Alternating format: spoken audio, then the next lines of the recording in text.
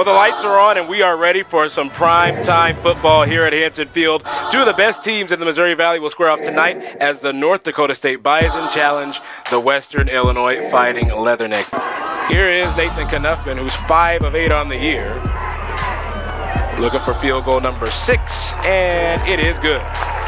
On your center Easton Stick, straight drop back, quick throw to the right, intercepted inside the 30 yard line, racing down the numbers and brought down from behind looks to be Adam Brandt.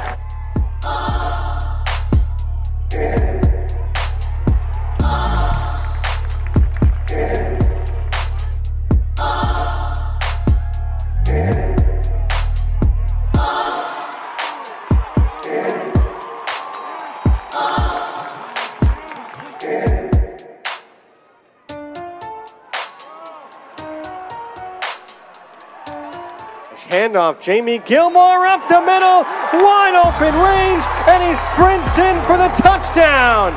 Western Illinois responding here in the third quarter. Gilmore from four yards out. I've Been made one from 29 earlier, this one from 27.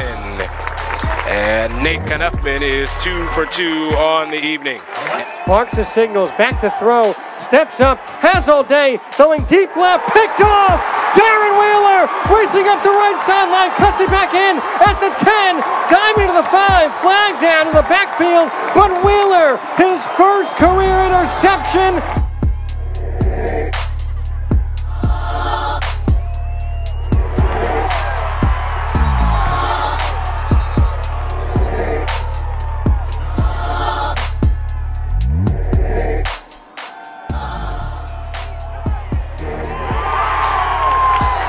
21 to 13 will be the final score. The Bison will get their sixth win of the season. The Leathernecks, they suffer their second loss of the season.